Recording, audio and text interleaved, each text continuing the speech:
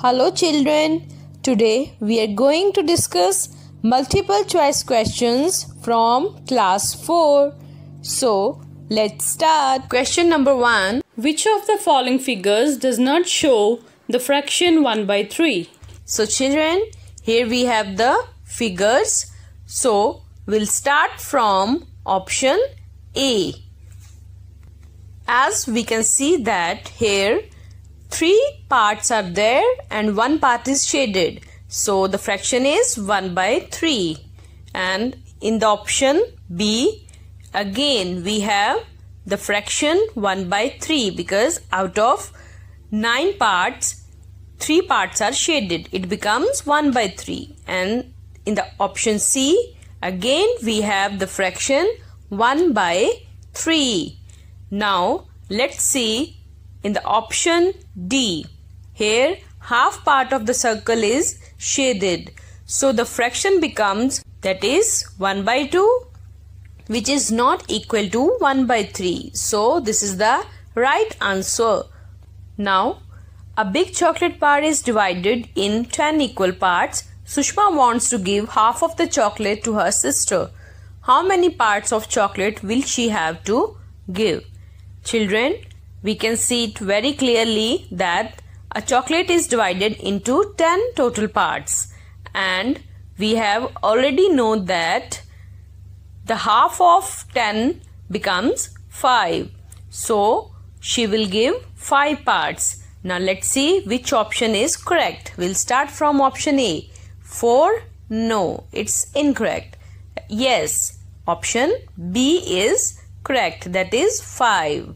So she will give 5 parts of the chocolate to her sister. Now next question is which of the following pairs show the same fraction?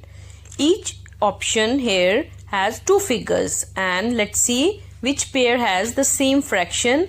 We'll start from option A and here the fraction of this figure is 1 by 4 and this figure is 1 by 3. So these are two different fractions. In the option B, here the fraction is 2 by 3 and the fraction of this figure is 1 by 3. Again, they are not similar. In option C, the fraction of this figure is 2 by 3 and the fraction of this figure becomes 2 by 3. So these both figures have same fraction. So that's what we want. So the right answer is option C because these both figures have same fraction.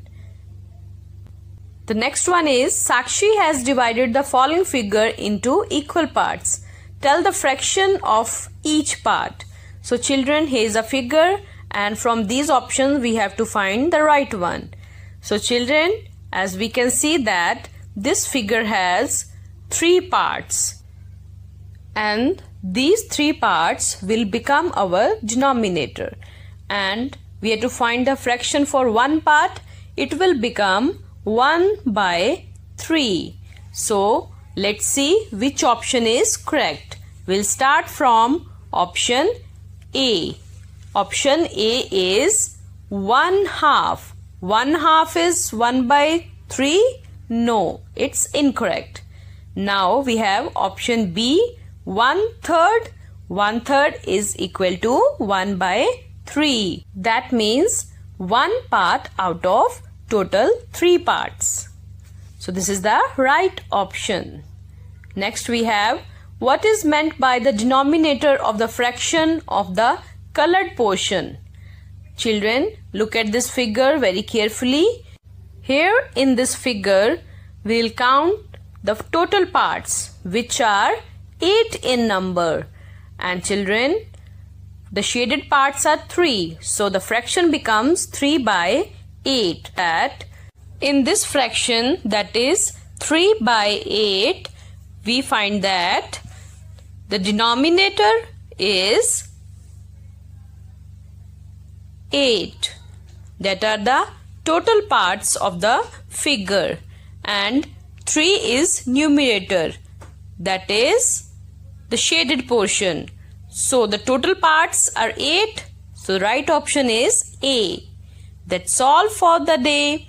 Now it's time for homework.